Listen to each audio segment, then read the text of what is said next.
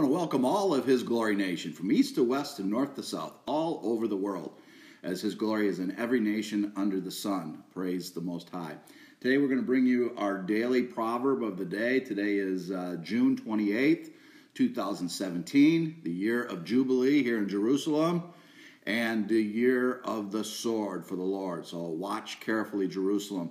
Matter of fact, we'll do a uh, Bible prophecy update later this week as we see that there's a lot going on uh, in the nation of Israel around the uh, Jubilee year, which always happens. God always acts on his Jubilee year. Hamas uh, struck uh, Israel yesterday. Israel had fighter jets uh, strike Hamas again. Again, that's the area of the Psalm 83 war. You have Hezbollah up to Old Tyre and Sidon, which is being funded by uh, Iran, who's trying to create the new Persian Empire. they are lots of skirmishes going up on that border, and it's not if, it'll be when the IDF, uh, Israeli Defense Forces, and Hezbollah come to blows.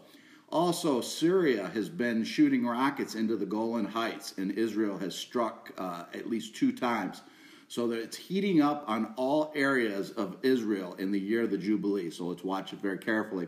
There's so much going on in American politics. So if you're in the United States, uh, you may not be seeing this, uh, but most of our followers are from other places throughout the world. So watch the, the nation of Israel because that is God's beloved uh, nation, and that is His city of truth, Jerusalem. So keep our eye on it. Today's uh, daily proverb is going to come from Proverbs 3 and we're going to close out Proverbs 3 in this session, 34 and 35. And it's a, it's uh, it's it's really a good thing to meditate on because many people always come to me and, and many ask the question, why do the evil continue to get away with it? We've taught in our Psalm 2 class that he who's in, in the heavens sits and laughs as the nations rage in vain, thinking that they're getting away with it. Donald, uh, Dr. Donald Barnsdale said in one of his commentaries, uh, we have choices in life. The two choices are to grab the crown of the kingdom glory and be in his glory forever through love, or face the judgment of the coming king. That's our choice.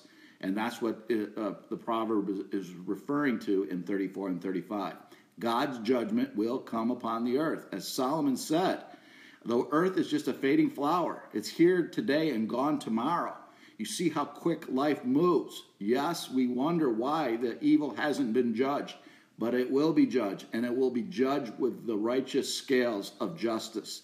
And the Lord will, will uh, reward those who love him with an everlasting life and also on the Bema seat based on what did you do with the, t- the talent the Lord gave you after salvation. So it's a two, two tests. First test, do we accept Jesus Christ as Lord of our life repent of our sins and have glory with him forever, our King of Kings and Lord of Hosts? Or do we go to judgment away from him? And that eternity means forever. It's this is why we're here. It's boot camp for the for the next life, the eternal life. And then also on the Bema seat as a Christian, as accepting Christ, what did you do with the gift that God gave you? Are you going to use it for his kingdom glory? Are you going to do it for love? Are you going to do it for the fruit of the Spirit? And that's where we will judge potentially having the five crowns to have the Most High say, Come in, well done, my faithful servant. You've done well, as Jesus talked about in the talents that were given to the people. Uh, verse 34 Surely he, he scorns the scornful. He will scorn them in his time and his purpose. He has a time and a purpose for everything. Sometimes he allows the evil to open up areas of blessing.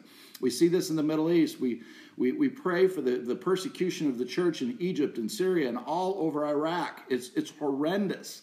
Uh, the persecution in Iran, the persecution in China, the persecution in India, the persecution in Pakistan with the bombings. These are horrible, horrific, but we know one thing for sure. If they have Jesus Christ as their Savior, they're at home in glory. They're home to their, the highland.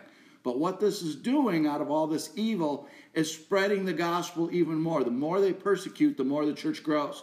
It's like the early church in Iran. They can't stop it, it's on wildfire. It's going from home to home. And God is using this evil for his purpose and for his glory. God's not authorizing this evil. This evil has free will, but he, he will have judge over those who hand the evil. He's taking the good eh, he's making good out of this and there is plenty of good because thousands and thousands are coming to jesus christ And many of them are coming to His Glory Nation, His Glory Ministry from these particular areas. 85% of the followers of His Glory Ministry are from Muslim, na- Muslim nations. They want to see the, who the true King is. Who is this Jesus? We want Him to be a part of our life. They've had ma- ma- massive amounts of uh, visions and dreams the supernatural is really happening to them. Jesus is exposing himself to, to them, and they're coming in droves. Praise his name. Verse uh, finishing off 34, but gives grace to the humble. God, through Jesus Christ, is grace. Nothing we do can earn that.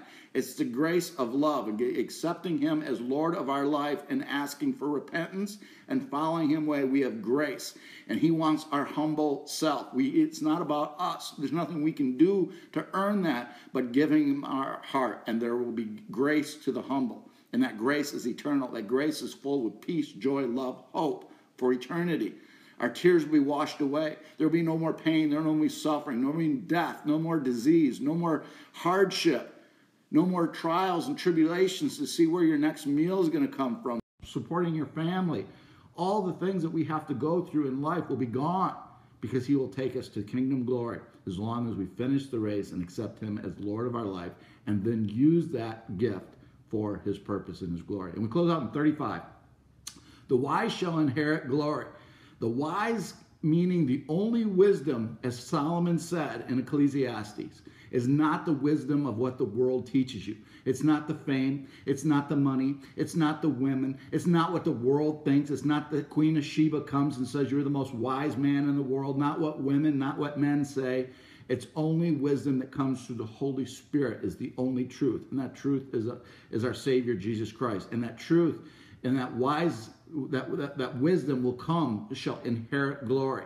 That's his promise to us, that the spiritual wisdom we shall inherit glory, meaning being in his kavod. The kavod is the Hebrew word for his literal essence, his glory.